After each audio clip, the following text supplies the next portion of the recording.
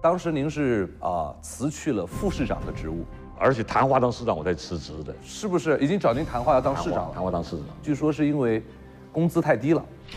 对住一个人，别人可以嗯嗯很微笑的跟你谈事儿啊。我虽然你心里边恨的我想杀你，但是还是很很微笑的跟你谈事儿。我不行，我要恨你的话一定在脸上，嗯我藏不住，所以我我觉得我当不了贪官。嗯，其实我做生意的时间其实很短，你看嘛。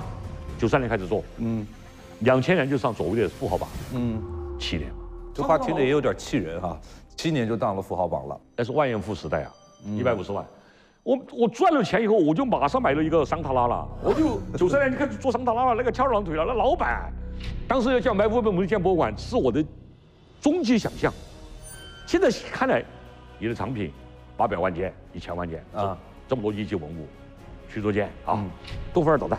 对吧？毛主席睡的床，毛主席的办公桌，不得了啊！好，你说值多少钱？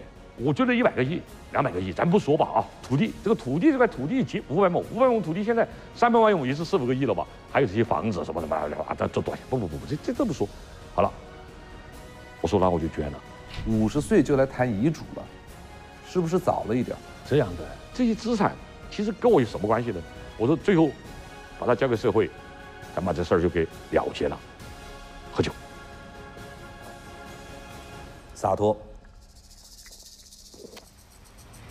时代有我，军品相传。这里是由贵州喜酒赞助播出的《军品谈》。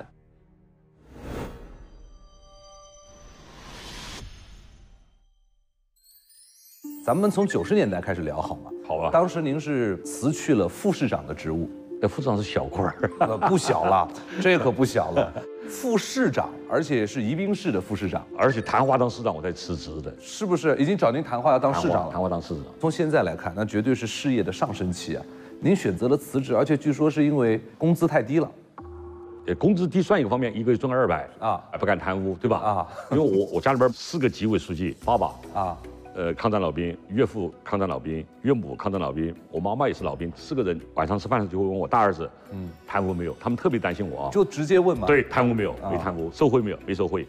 呃，徇私舞弊没有？没有。好，吃饭。你们家可吃饭的气氛比较严肃。对，其实我觉得最最最重要的还是什么呢？我在体制内的有一线的是说话比较慢了，对，就是有点当官的样子了。樊市长说的什么什么的，但实际上呢，内心是那种很野的，就是很澎湃。不不，就是。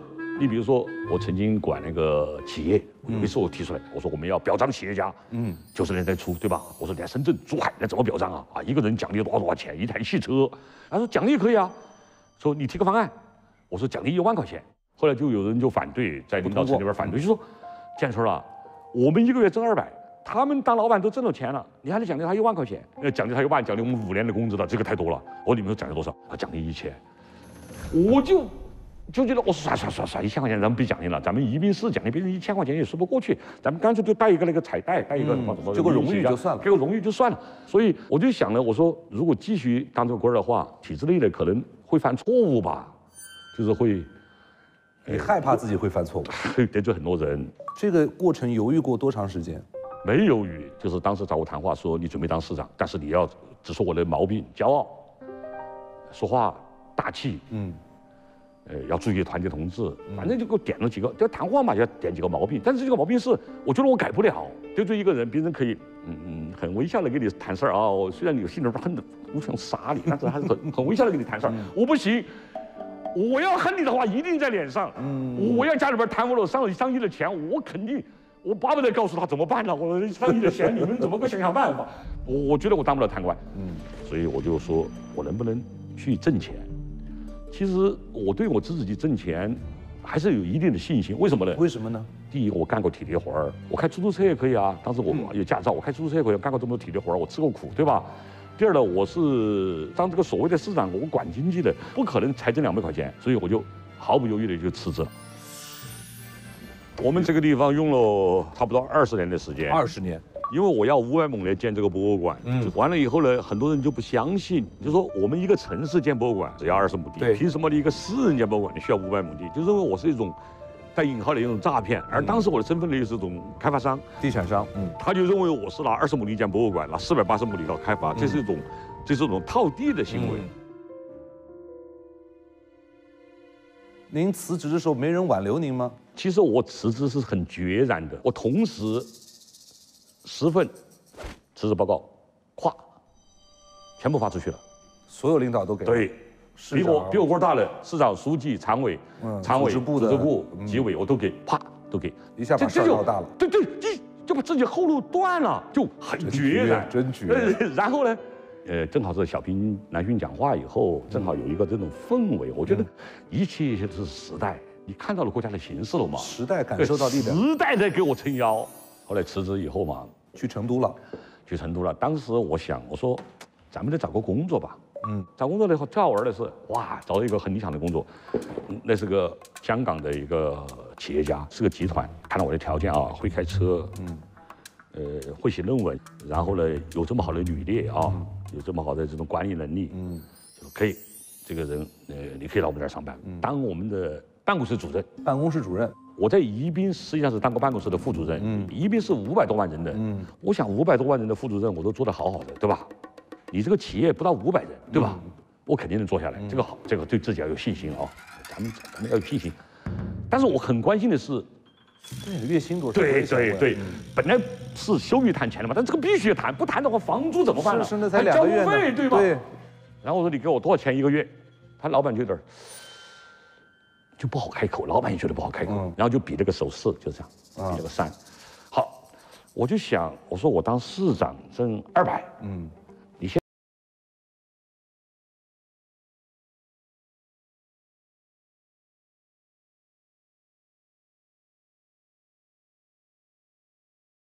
啊还交通费啊，嗯，这三百少了一点，对呀。我说少了一点吧，啊啊，他马上说五千。哦，这是三千。对对对，我这老板傻嘛？你直接说三千不就成了吗？你给我三千，不是就相当于我当市长一年的工资了吗？他也觉得是他也是试着压着压一压压压一下，我我这个时候血就上来了嘛，咵！但是我这个时候保持冷静啊，咱们这这可不能露馅儿对，咱们不能是乡巴佬啊，不能说见钱就就跳起来了。我就说，嗯，可以，对，可以。然后咱们就回去找了王总，给一年的，有没没打算咱们换个房有钱了。不打算换个房子吗？都五千一个月还是要节约钱。为什么呢？还是要节约我我还是想打工以后要创业嘛。啊他看了一个月说：“哎呀，你给我当老总吧，我当总经理八千，年底还要分红。啊！我一年当时在九十年代初就挣了90 10几年代初初就挣了十几万一年，哦那就是大钱了，开玩笑嘛。但是我还是住三十多平房子，我要我要留着钱创业嘛。嗯后来创业成功，能够挣钱，办博物馆等等啊，就是这么慢慢慢慢慢慢就起来了。嗯，这是个壮士广场，可能目前为止也是全世界纪念二战的最大的一个群雕广场。哦，然后呢，你会在里边看到有中共的毛泽东，嗯，也有正面战场的蒋介石，嗯啊，也有赵一曼、杨景瑜，嗯这样的狼山武装士，也有像谢晋元啊、戴安南啊，哦，也有张志张志忠啊。啊，这样的正正面战场牺牲的高志航这样的烈士，形成一个非常漂亮的、很雄壮的、很有气场的这么一个中国壮士的群体啊！就像我们现在掘工嘛，完了以后呢，用钢铁来铸造的。为什？么用钢铁来铸造呢？就是没用铜，用钢铁铸造就是钢筋铁骨，铁骨铮铮。嗯，好像牟其中对你影响也很大，啊，差一点，差一点是什么意思？差点投奔牟其中。下海到成都以后，我一边找工作呢，一边就给牟其中写了封信。直接给他写信了。对，我不认识吗？我不认识。我把我的经历啊，写的论文啊，一个大大大信封，这么大信封寄的。他给我回了封信，呃，到北京面谈，呃，意思是他也在四川要一些分公司，嗯嗯，好像就是做四川这边的负责人这样的感觉。我其实都已经准备买机票飞北京了，啊，后来我就把这几个念头突然就打消了。为什么？直觉告诉我去那儿前途是有，因为一直在很关注他的这种报道，就是那个卖飞机那个事以后，我一直很关注他。我我是直觉告诉我，他有一些呃和我不太匹配的。对不太吻合的这种做法，我觉得有点不靠，有点不踏实的感觉。其实还有个更深层的想法，坦坦白讲啊，这样子其实不去难得公司的一个很很重要的想法，就是说我还是想呢，呃，我肯定要自己创业，嗯要实现我自己的相对的财务自由，嗯，然后我就开始自己创业了。哪一年？九三年，九三年。对，怎么会想到要做房地产公司？我觉得它是个新的东西。嗯，另外呢，因为我自己租了个三十平方米的房子，一家三口住在里边儿，我就说，什么也是修七十平方米的房子，嗯改善住宅，嗯，是中国人的一个特别特别顽固的概念，所以我就第一个项目做房地产。那当时这个钱是哪里来呢？当年呢，就有这种创业模式，比如说我我当时要创业的话，我到银行去贷款，啊，然后你要说你跟谁签了买地的协议，对银行就给贷款。对，当时没有什么抵押呀、嗯这些，有协议就行。对，有协议就行。这是您做房地产公司第一个项目。第一个项目，我记得是卖给一个机构做集体宿舍，一千四百五十块钱一个平方，多少套房子？一共是三万平方，那也是几百套房。一个平方赚五十块钱，房地产肯定是笑话。怎么一个平方萝卜白卖萝卜白菜？呃对呀、怎么怎么利润怎么会只有对五十呢？但是你要想一想，那是万元户时代啊，一百五十万。我我赚了钱以后，我就马上买了一个桑塔纳了，我就 九三年就开始做桑塔纳了，那个翘二郎腿了，那老板。然后呢，那个单位就说，你看建川，你一千四百五卖给我们的房子，我们住了这么十几二十年，咱们一卖还卖了一万多，哎呀，表扬表扬。我说不不不不不，感谢你们，我的第一桶金是你们给的嘛。嗯先喝一杯。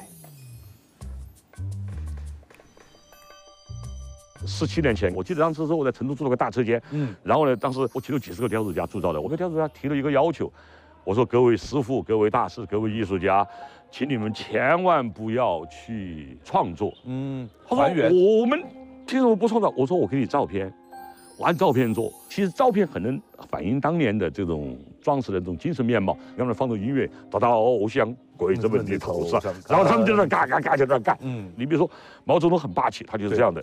你比如说邓小平举重若轻，他就会是这样的。你比如说，你看那个邓铁梅啊，这是个抗联的一个将领，嗯，他是这个姿态，日本人手铐铐着他被。锁住的。对，这是日本宪兵队对他行刑的时候，哦，来塑造邓铁梅的这个中国壮士的形象，这些都是特别值得我们去永远铭记的人物。对，这段历史必须被永远记住。其实我做生意的时间很短，你看嘛，九三年开始做，嗯两千年就上所谓的富豪榜，嗯，七年，这话听着也有点气人哈，七年就当了富豪榜了。嗯就是上中国富豪榜我就莫名其妙，我说凭什么就上中国富豪榜了呢？嗯。就是这副事儿，没有权没有钱，全凭嘴巴甜。但我想这七年能够上富豪榜，能够累积那么多财富，在地产这样一个在当时我还不是简单地产加油站，啊加油站，还有酒类贸易，还有我还是做的比较杂，还有物业管理啊，嗯。呃，装修啊这些都一起做，但是主要是地产和加油站。嗯。特别牛逼的是五幺二大地震，啊。零八年的时候，我是都江堰最大的开发商。啊。哦，我一听到地震了，坏了，我一问汶川，哇，坏了，流棉沟，流棉沟坏了，我知道你都江堰垂直距离就这么十几公里，我赶快开车从安仁镇哗过去看，我以为我的房子一塌糊涂了吗？